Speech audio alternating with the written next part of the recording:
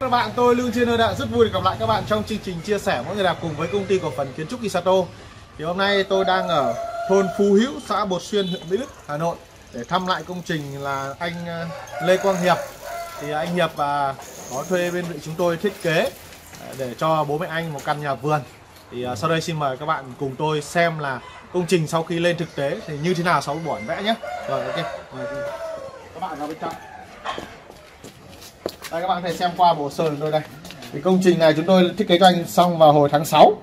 Đấy. Và đây là phối cảnh của nhà của anh. Đó, thì uh, khi mà bàn giao bản vẽ xong thì sau khi mà gần thi công thì anh có thay đổi một chút đó là anh đổi uh, cái vế phòng ngủ từ bên này sang bên này và sảnh cà phê từ bên này sang bên này. Đấy, còn đâu là tất cả thì vẫn giữ nguyên, chỉ có đổi mỗi vế thôi. Đó. Rồi tôi nói qua cho các bạn biết là cái không năng của công trình. Thì công trình của anh ấy sẽ gồm 3 phòng ngủ. Này phòng ngủ ngoài cùng là 15,62 phòng ngủ số 2 là 10,87 và phòng ngủ trong cùng là 10,4 ba phòng ngủ. Một phòng khách rất rộng rãi là 33,72 một phòng thợ là 9,14 là một khu vực bếp. Thì vệ sinh ngày xưa anh để bên hông thì bây giờ anh để cho dưới đằng sau này. Đó đây không gian 3D rồi các bạn hãy cùng tôi vào xem công trình của anh nhé. Đi.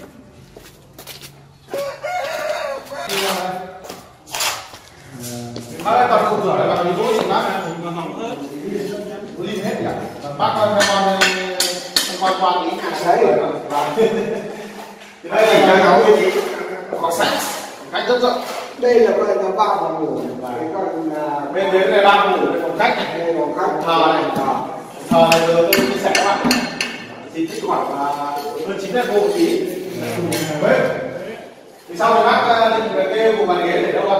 Đấy trong này là nữa thôi. Có để giữa là gì ạ nữa đây còn kia kia là cái tí đi đây chúng ta sẽ cùng vào ngủ đầu tiên.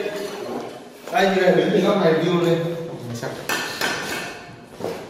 Bố này bố gì không? Lên đất lim ạ lim nam phi lên là thông tin hồi ờ, làm thì mình thuê những công hết bao tiền mét vuông rồi? Gỗ cả không có nói nhân công xây dựng ở lên công xây dựng đây là gọi là bác chủ cháu là phải tám mươi nghìn mét. Tám trăm. À tám trăm nghìn mét. Và cái máy chó là mười năm một tỷ rưỡi. Và phải chơi một phải năm. Đây toàn bộ khu vực tầng một thì để nó rộng rãi ra thì chúng tôi lắp cạnh cho bác là thiết kế cho bác là 80 80 80 đây là trong mình xem không như là bạn là đồ sĩ phòng ngủ đầu tiên này có diện tích là 15 6 2 mét vuông các bạn nhé. Có hai cửa sổ để sáng này. Thì đây bác cách điệu đi. Đấy. cái kiểu là chúng ta không để vuông mà chúng ta để xoay như này. Đấy cửa sổ còn bên trên là bằng song song ngang. Đấy các bạn có thể học khoảng cái khuôn cửa này cũng rất là độc lạ. Đây cũng cửa sổ để sáng đằng trước. 15,62 mét vuông. Đấy. Rồi và tôi sẽ ờ, tiết lộ thêm cho mọi người cái chiều cao của công trình này.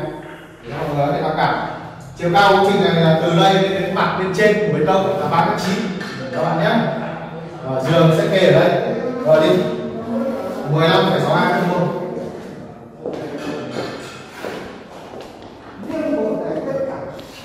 đây là phòng ngủ số hai phòng ngủ số hai tức là 10,87 mét vuông 10,87 mét vuông thì à, vợ chồng anh Hiệp thì thi thoảng mới về thôi thì chủ yếu là hai bác ở thôi hai bác sẽ ở phòng đầu ở đâu thi thoảng là có con cháu về thì ở hai phòng phụ này có cùng một cửa sổ buổi sáng đây Đấy. bạn được quan lên chạy luôn xem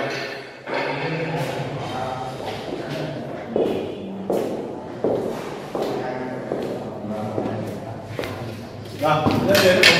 số 3 Quay xa xa Người Phòng số 3 này là 10,4 mét vuông Đây các bạn thấy cái cánh cửa của bác này Đấy Thì chúng tôi chỉ làm hai cánh như này Và một kít để sử dụng mở thoải mái luôn các bạn nhé Bên hông này khác có rồi chúng tôi để thừa ra vài chục phân thôi. Vừa lấy sáng ra khu vực cửa sổ. Và thứ hai là để cái máy hắt ấy, không rủ sang nhà hàng xóm. Để không ra ra cái máy hắt của cửa sổ nữa. Đó. Và đây là sau. Đây bạn đang đứng từ đây bạn chiếu này Đằng sau này chúng tôi cửa đây chúng tôi làm hai cánh này. Đấy. và đây là tường này là hết đất rồi thì chúng tôi cũng để cái trung phân vừa để máy nắp và vừa để cái sáng luôn. Đó. Ok rồi phòng này là 10 phẩy bốn mét vuông nhá phòng khách này là ba bảy hai mét vuông này. Cao quay lên quay lên trên. Nhìn xem. nếu mà cái cơ mà nó không phòng thờ này là chín phẩy mười bốn mét vuông. À đây là cái đèn đây thì quay đi quá quá cái này bao nhiêu không phải là một chỗ đất chỗ đặt không riêng cái này cái này mà đấy sẽ đúng hai cái đèn này. Nhà cái này cái này nó trừ cái này không đất đất đất là bao đất triệu cả tôi này theo cả này ban hương và đây là đồng vào lông bình đây là đồng đồng đỏ anh nhập cái mua mua ở dưới hà nội.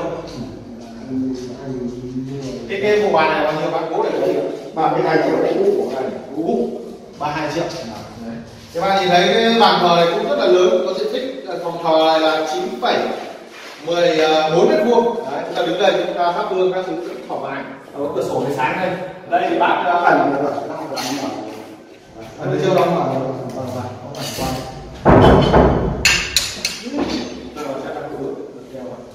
Đấy, các bạn thấy rất là sáng sủa luôn Rồi vào khu vực bếp Bếp đây là 9,8 mét vuông Nhà mình hết đất rồi, cái này kịch rồi thế tại vì đây chúng tôi phải cạn cái không gian phòng thờ, phòng bếp và yêu cầu cho phòng ngủ nó thả ở đây là bác cái kịch cầu. Chúng tôi vẫn phải để quá để cái cửa sổ nữa Cái phòng khách này bạn nhìn hai bên có hai cái sổ các bạn phải lùi ra. Đấy.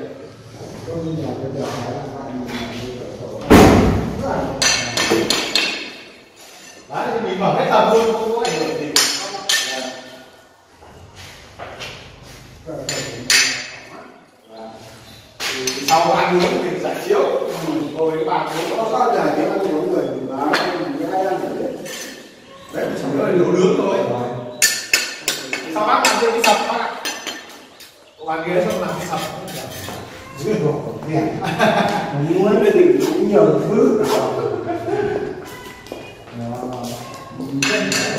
thì đây là một cái cửa lách ví dụ nhà có công chuyện thì bác có thể đi bên hông và đi phẳng đó vào cũng bếp của hông cái đây là cái cửa nữa để đi ra bộ phận xuyên chung bên ngoài xưa chúng tôi thiết kế cho anh thì là vệ sinh nó ở ngang bên này nhưng mà rào rau không còn đất thì chúng tôi phải đẩy về đây.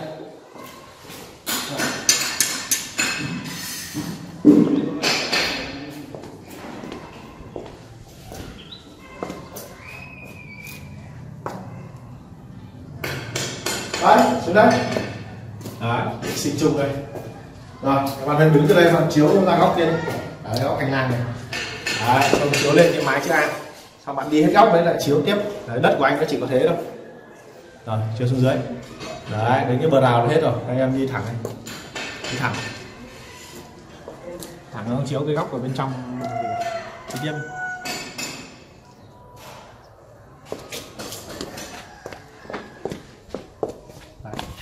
đất à, hơi dính chắc một chút các bạn. Đấy, nhưng mà chúng tôi vẫn để lại hành lang. Vừa cửa sổ lối sáng, vừa máy hắt vừa cái không gian để đi lại từ đằng trước sang sau. Đây.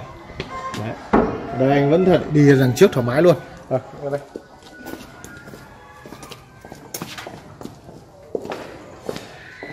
Chung ờ, từ giờ đến tết là xong hết, ông nhỉ